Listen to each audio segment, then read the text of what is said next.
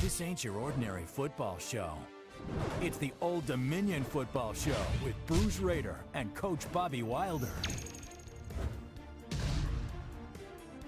Another Saturday, another miserable day for football. Despite traveling north to escape the storm here in Hampton Roads, the Old Dominion football team found another rainy, cold stadium, this time in Huntington, West Virginia. On the other side of the field, the Monarchs face the defending conference champions, Marshall, a team on a roll. The result, a 20 point loss. But with a week off to pull themselves together, ODU looks to rebuild. And how are they doing it? Well, let's find out. The Old Dominion Football Show starts now.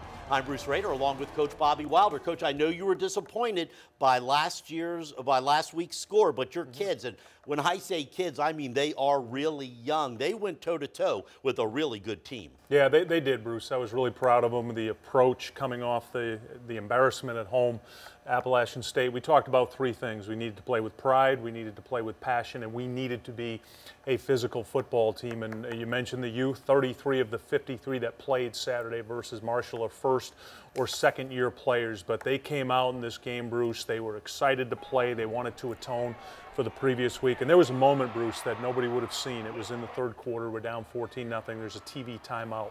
And our defense is huddled on the sideline with Coach Nagy and the staff, waiting to get out on the field. And all of a sudden, they start jumping up and down. They start pushing each other. They start yelling over to the Marshall kids, bring it on. It was just inspiring to see. I've never seen something like that from an Old Dominion team. And we went out, got a three and out, and forced a punt. So it's it's coming. It's coming together. We're going to get better. All right, let's talk defense for a minute, Coach. Uh, Marshall really only had one long scoring drive. Mm-hmm. The other scores came after a turnover mm-hmm. and after a bad punt that put them in really good field position. Yeah, we, we gave up 27 points, which our kids felt after the game was too much. We've got to get better at that. But to your point, they had a 13 play, 85 yard drive where the third down got us. Four times they converted on third down. We've worked hard at that this week in practice. But six of their 14 drives, Bruce, were three and out.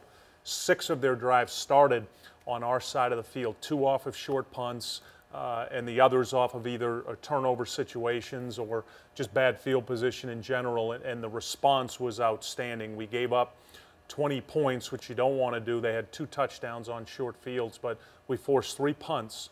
Uh, when all they needed was a first down to get in field goal range. So we were back to the wall a lot in this game, Bruce. Their average field position was the 40, ours was our own 23, uh, but we're getting better on that side of the ball.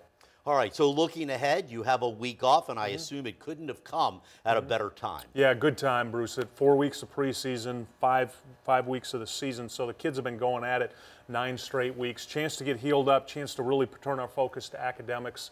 Uh, and then also, Bruce, from our standpoint, the coaching staff, we get to do a self scout evaluation. We get to just look at ourselves. What are we doing well? What do we need to build on? What do we need to focus on? So, a good week and good timing for this break. The last thing that you want to do as a coach and as a program is to panic. Mm-hmm. And I heard you quote Packers quarterback Aaron Rodgers this week in that regard. Mm-hmm. Can you share that with us? I can. R E L A X, relax. We're, we're going to be fine. And not only a message, most importantly, for, for our team, Bruce, because it's critical you have to stay focused on the process. And I believe this in football and life and business, whatever it is. If you've got a plan and you're telling everybody in your organization, this is the plan, this plan's going to work, and then you panic and you change your plan, everybody in your organization looks at you and goes, wait a minute, what, what have you been saying for the last seven years you've been the head coach? That this is what we're doing. Now all of a sudden we're going to change. And that's not what we need right now. We need to stay focused on the process of winning. That's planning, that's preparation, that's execution, being consistent. We're going to be a good football team. We've just played three teams in NC State, App State, Marshall. They're all going to be bowl teams. They all could win their divisions. They're a combined 11 and 3 right now. So take a step back, have a little perspective, and let's work to improve our entire program. Yeah, but on the other hand, there wasn't a whole lot of relaxing this week because you mm-hmm. scrimmaged on Wednesday and on Thursday mm-hmm. with an emphasis on situation football. What does mm-hmm. that mean?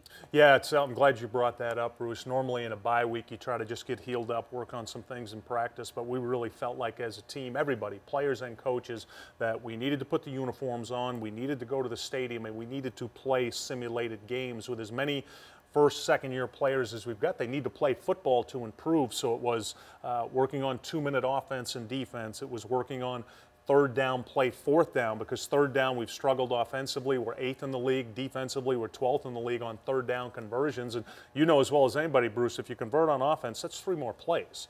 If you stop them on defense, you get to the sideline. So we did that. We worked on red zone offense and defense. We needed to work special teams, Bruce. We needed live work on our kickoff return, our punt, our pump block units, all those areas. So major emphasis on situational football and how to react in those situations and not just doing it, but you have to teach your kids how to react and what play is going to be called. You have one of the best running backs in mm -hmm. all of college football, but now your opponents know that. Mm -hmm. How do you get Ray Low Lawry loose again? Yeah, it's, it's, it's interesting you brought that up. He's the leading rusher in Conference USA. He's 11th in the nation right now. So what's encouraging is the ability to run the ball is going to help our pass game. Now, everybody knows – we need to get the pass game back going, and we will. The, the first game of the year at Eastern Michigan, the quarterback completes 65%, throws for 185 yards, so we can throw the ball, we can catch the ball. We've had some difficult weather situations along with difficult competition. Three of the last four games have been in rain and, and wind, which makes it difficult for a quarterback anyway. But the fact that we can run the ball, Bruce, is going to make our pass game improve, and we will get that better. All right, and the Monarchs defense has stepped up its play this season, and one of the reasons is sophomore safety Justice Davila. And coming up next, he enters the one minute drill with Brian Parsons.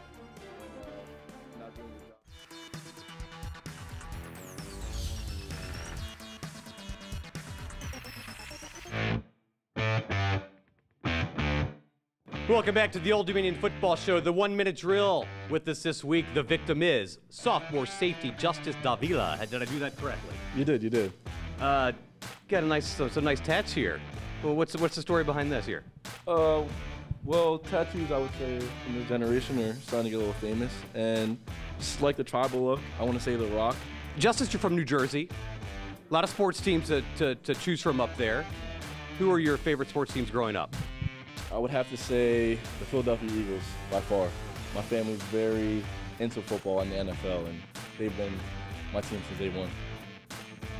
They've had some good years, they've had some lean years. Have you ever cried as a kid when the Eagles lost a game?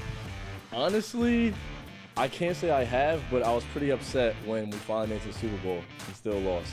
That, that one hurt, so yeah. To the Patriots? Yeah, and we had T.O. too, and he was a problem that year, but we should have worked it out. We should worked it out. Coach Bugs. Is Coach Bugs uh, an intense coach? I will say he's intense when it's needed. When uh, you're not doing your job or he sets a certain expectation for each of us, and when they're not met, it gets intense, yeah. What would you do if somebody took away your iPhone for three days? Wow, uh, that's a good question. I can't even answer that. What would I do? I'd probably have to find an iPod and just see what I can do with that. Maybe use somebody else's. I don't know. Uh, do you follow Bobby Wilder on Instagram? Yeah, I do. I do. Uh, uh, how is he good at Instagram? uh, he's a beginner. I'll leave it at that. He's a beginner. Sophomore safety Justice Davila looking to have a big season for ODU. Say goodbye to the Monarch Nation, Justice. Hey, let's get ready for the season. See you. Time now for the Coach's Corner. This week's question comes to us via Twitter, and it's from Larry Eakin. He asks, any chance we go back to the spread, at least some, to help Shuler Bentley break out of his slump? Yeah, that's predominantly what we've been doing, Larry. We've been uh, in the spread offense. We had a plan in preseason with Melvin Vaughn from Oscar Smith High School, who had been an outstanding wide receiver for us. Melvin put on 20 pounds was up to 250. He was having a great spring, Bruce, phenomenal summer. We were going to play more tight end to create a little more edge, which would help even more with the run game. And then Melvin goes down with the torn ACL. So we've been primarily four wide spread, a little bit of two back where we put Zach Pascal in the backfield. We ran the ball a lot with him in Norfolk State. So we're trying to find ways to create a surface. But primarily right now, uh, it's a spread offense. Thanks for the question, Larry. And if you have a question for Coach Wilder, email it to me at bruce.rader at wavy.com or on Twitter, Bruce Rader Sport. There is no game tomorrow, but there is a week from tomorrow, and it's homecoming. Always a special weekend at SB Ballard It Stadium. is great and great to the, the way homecoming is now, the way the university does it. President Broderick and all the administration make it a special day, and it's going to be the 45th consecutive sellout. Bruce, I got to give a shout out to our students. They claimed um, 3,900 tickets, and they did it 44 tickets per minute. That's how quickly they grabbed them up. So a shout out to the Old Dominion students and their loyalty, just phenomenal. All right, that's going to be a lot of fun. A week from Saturday. Next week, we'll talk about Charlotte and we'll see how your week went. Mm-hmm. For all of you, enjoy your weekend and join us every Friday night at 1045 for the Old Dominion Football Show. And if you'd like to see it again, you can go to wavy.com and you can click on sports. Mm-hmm. For you high school football fans, Friday Night Flights is coming up next on Wavy TV 10. Again, have a great weekend. Good night, everybody.